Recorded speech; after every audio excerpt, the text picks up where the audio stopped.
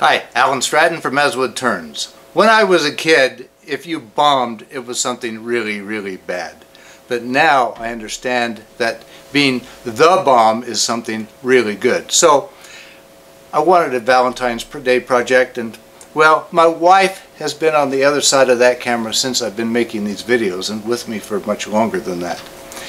Right now she can't be out here with me in the shop because it's a bit dangerous for her since she's recovering from her second knee surgery in eight weeks. So I'm doing this uh, solo. But still, I'm going to make this for my wife since she is the bomb for me. And meanwhile, while we're at it, we're going to use the octagon method to cut a perfect sphere and hollow it for this project, I grabbed a chunk of apple that has been drying for a couple of years. It seemed to be enough for a sphere, but since the ends were cut at weird angles, hmm, well, I glued on some end pieces and tried to make them parallel. Well, not quite. Now mounted between centers, I can round the wood into a cylinder. Almost without thinking, I cut a tenon on the end.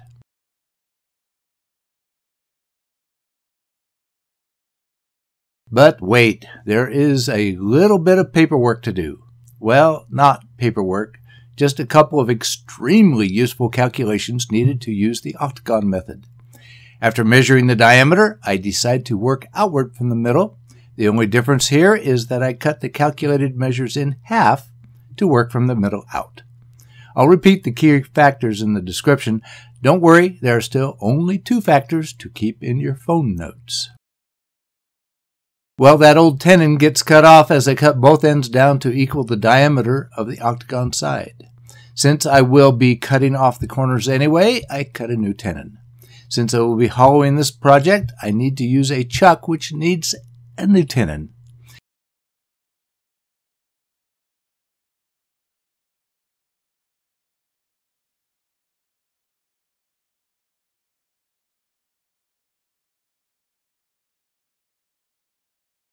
Then cut the corner off the tailstock end, but since I need chuck mount, I can only cut a little from the other end. This is to give some indication of the limits for hollowing later.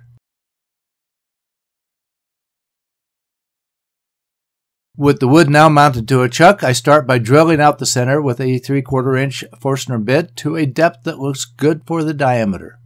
Then, still following the octagon method, I mark divisions on the available faces to guide rounding off the sphere by eye.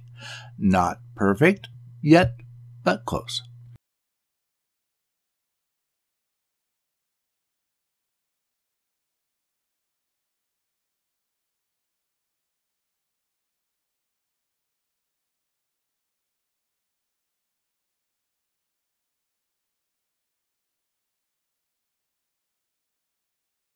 Then pull out some hollowing tools.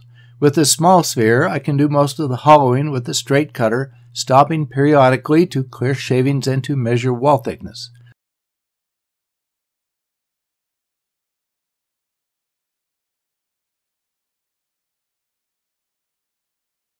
Then touch up a bit more with a bent cutter.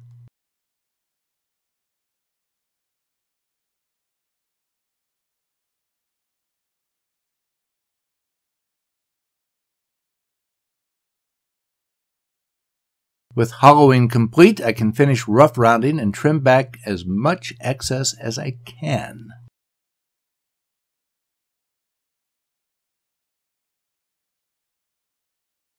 Now to mount a couple of cup faceplates that I've been using for years. But you're saying, what about that big, ugly tenon used to mount for the hollowing? Not a problem, since I rarely have the end dubs totally gone at this point. Anyway, I will just have to carefully whittle it down with my spindle gouge. This is all part of the first part of the cup center phase.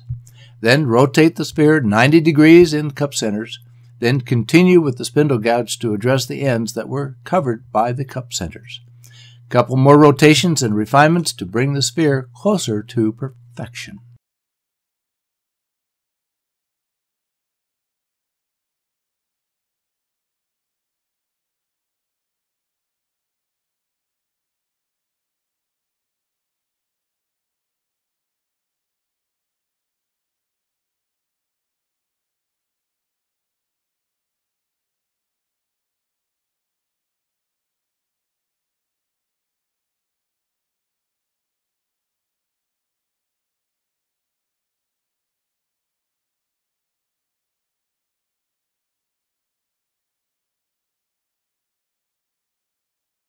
Now for the sanding phase. I smear the wood with my sanding media, beeswax and mineral oil, and go at it with 80 grit. Three rotations for each grit up through 400 grit perfects the sphere. Wow! Even that hole into the interior was not a problem. The sphere is finished. I dare anyone with an expensive sphere jig to do the same as quickly. For more details, please see my previous videos.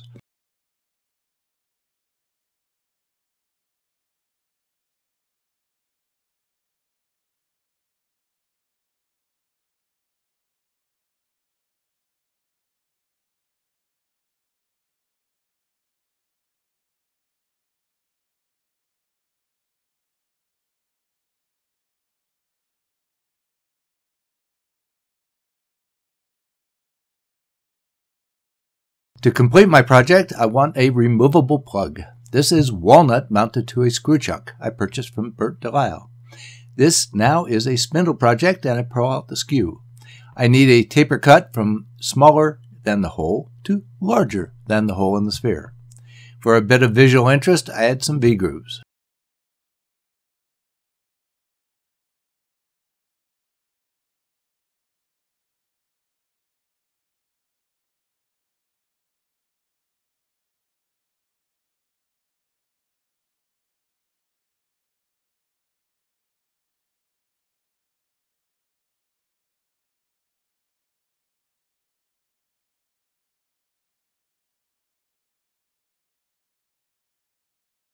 After sanding, I can burn the grooves for a bit more accent before applying more mineral oil and beeswax for a finish. Then add some heavy string for a fuse or whatever whim I want it to be. This was fun. For Valentine's Day, this is for my wife. She's the bomb for me and has been for over 50 years and counting. Meanwhile, please give this video a thumbs up and subscribe to my website as well as on YouTube. Please spread the word by telling your friends about my weekly videos. I also appreciate your comments and questions. Please wear your full face shield whenever the lathe is running. I hate to nag, but are you wearing yours?